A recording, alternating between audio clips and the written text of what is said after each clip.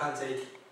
我们先看第一题啊，他说 x 平方是十三的，那这个等于多少？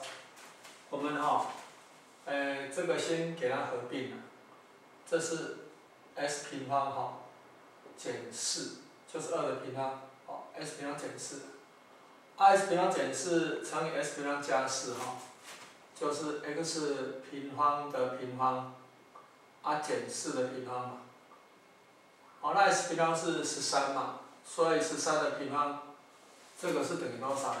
等于那个一六九啦，减掉十六，所以这个是等于一五三。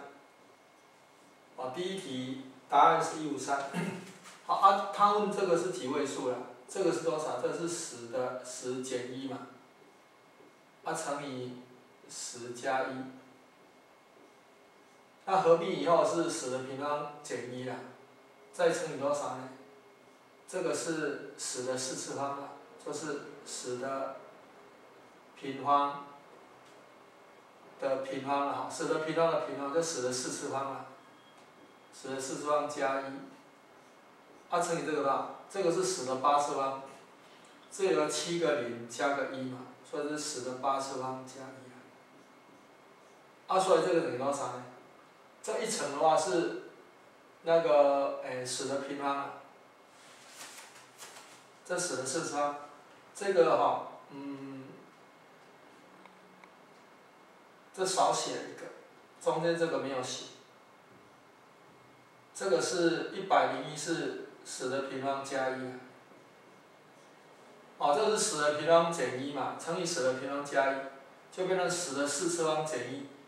十的四次方减一的话，哈，再乘以十的四次方加一，就十的八次方减一了，再乘以它，就变成十的八次方减一乘以多少呢？十的八次方加一嘛，这就是十的十六次方减一啊。